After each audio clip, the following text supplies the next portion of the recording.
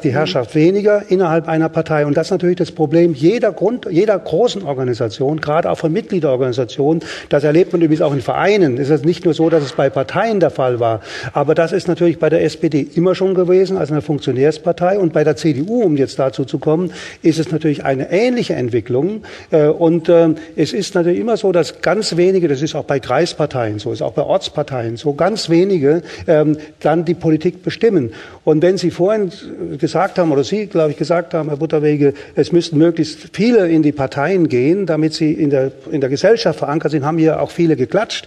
Wenn schon heute Abend diejenigen, die geklatscht haben, in eine Partei eintreten, wäre ich ja auch immer, wäre ich schon sehr zufrieden. Denn es gibt natürlich so ein Parteien, äh, so eine Antiparteien-Geschichte, die ist nicht gut. Und ich sage noch einen Grund, warum. Ich glaube, Herrn äh, Müller drängt es gerade zu einer Geschichte, was zu sagen. Ich glaube, dass wir einen Fehler machen, wenn wir nicht berücksichtigen, dass auch diese Oligarchien ja nicht autonom über wichtige Fragen entscheiden, die sie alle betreffen.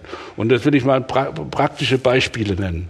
Also wir kennen den Fall, dass Joschka Fischer und Gerhard Schröder noch nicht gewählt in die USA fuhren und dort gesagt bekommen haben von den Leuten von Clinton, ihr müsst bereit sein, wenn ihr denn hier in Deutschland gewählt werdet, dann auch vom Bundestag, müsst ihr bereit sein, im Kosovo militärisch aufzutreten. Und dann ist dieser Krieg gekommen. Das war ganz klar eine Verabredung, die dort getroffen worden ist. Da hat nicht die Oligarchie der SPD das bestimmt, sondern die Amerikaner haben deutlich gemacht, dass sie von dieser neuen Führung Deutschlands erwarten, dass die out of area, also außerhalb des NATO-Bereichs, militärisch tätig werden.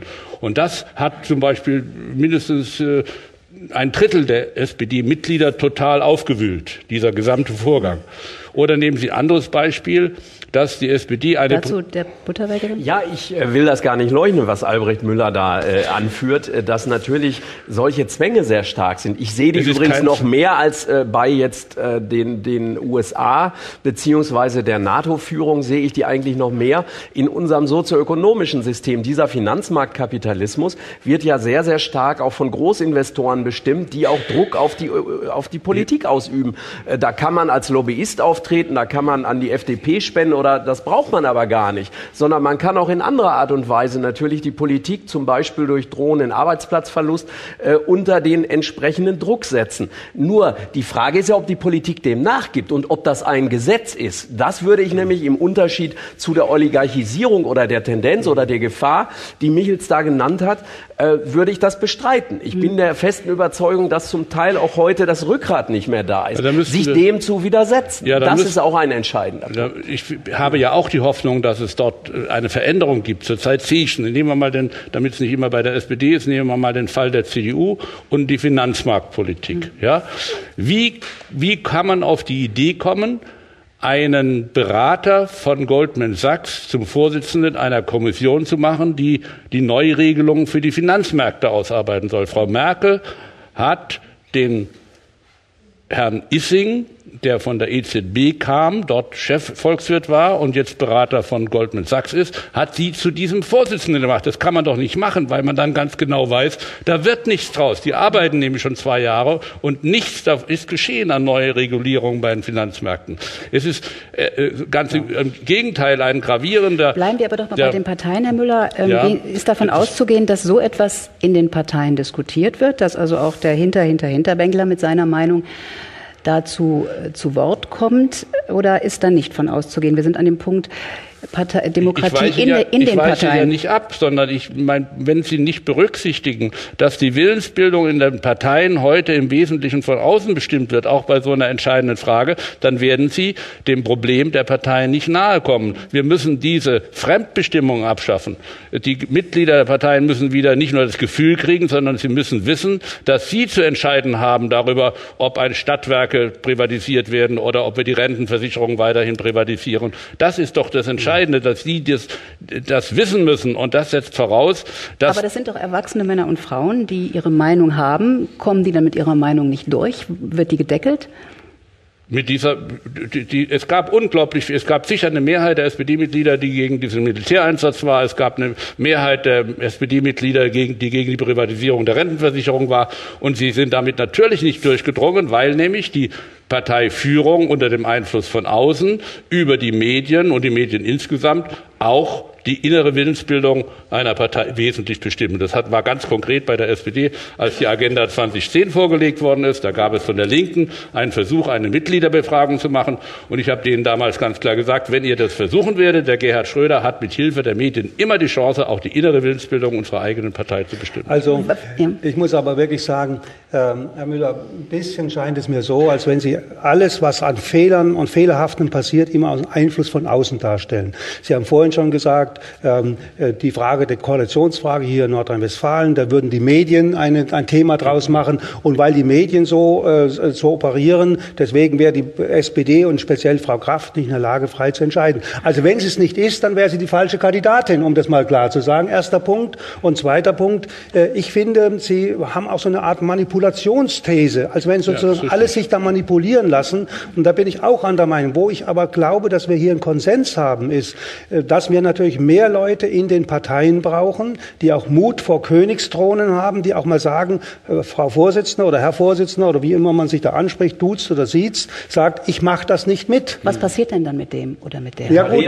kann, natürlich, wir haben Max äh, äh, Politik als Beruf. Das muss man natürlich sehen. Die Karriere ist, kann schnell zu Ende sein. Deswegen bin ich ja sehr der Meinung, wir brauchen ja Politiker, die auch schon, wenn sie aufgestellt werden, als Politiker, als Mandatsträger, ähm, möglichst so auch beruflich gesettelt sind, äh, beruflich abgesichert sind, auch so unabhängig sind, dass sie auch notfalls mal eine, einen Karriereknick in Kauf nehmen können. Die meisten, je länger man doch im, äh, im Parlament sitzt, äh, umso weniger ist man bereit, dann wieder mal zum Beispiel Konrektor einer Schule zu werden, was man vielleicht viele Jahre ganz gut gemacht hat, aber man will die Welt der Politik nicht mehr verlassen. Und das ist die Schwierigkeit.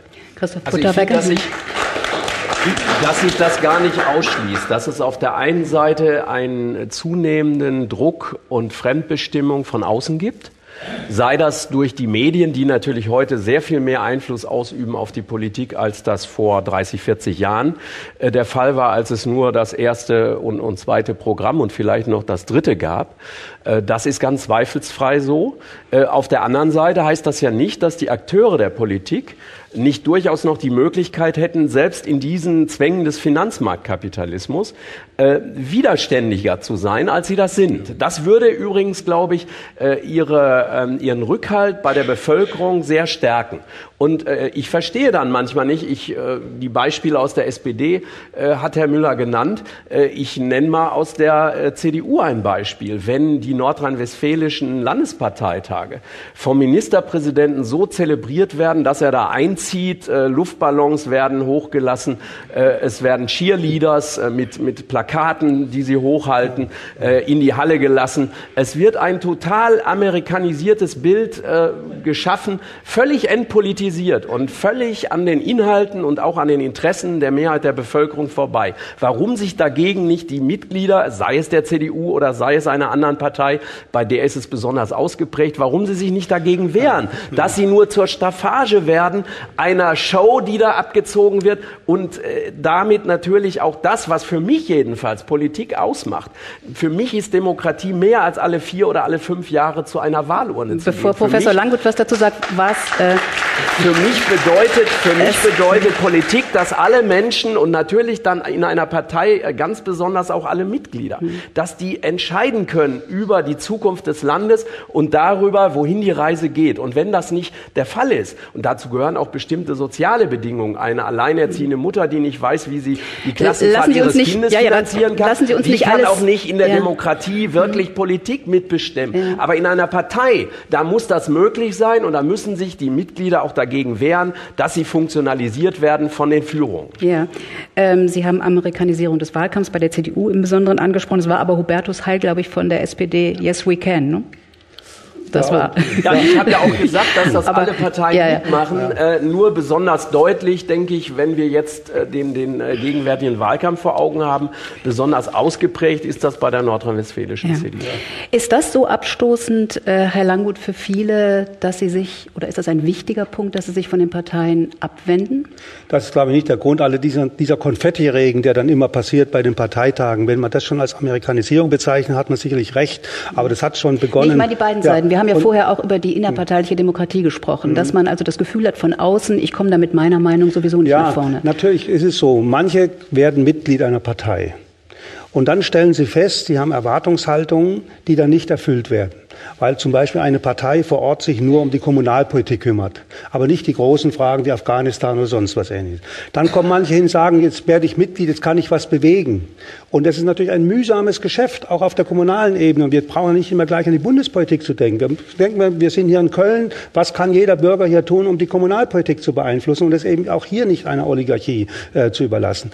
Und da und ist den Kölschen Klüngel. Und den, den Kölschen Klüngel natürlich, ja völlig recht. Äh, der, ähm, der, der ist ja an, an so, und da ist die Frage, was getan werden kann, dass mehr unabhängige Leute in die Parteien gehen äh, und äh, unabhängig denken äh, und sich auch notfalls dann zur Wehr setzen. Und da gibt es viele Möglichkeiten. Und ich kann nur sagen, wenn die Parteien äh, sich nicht öffnen, auch diesen kritischen äh, Aspekten, die es ja immer wieder gibt, auch Bürgerversammlungen machen und nicht nur formal und nicht nur die Entscheidung schon alle vorexerziert haben, dann werden sie natürlich immer weniger mhm. in der Bevölkerung. Herr Müller, das, was die ähm, politischen Parteien tun sollen in unserem Staat, ist sogar im Grundgesetz festgelegt. Erstmalig übrigens äh, die Rolle der Parteien da festgelegt nach den Erfahrungen äh, in der Weimarer Republik.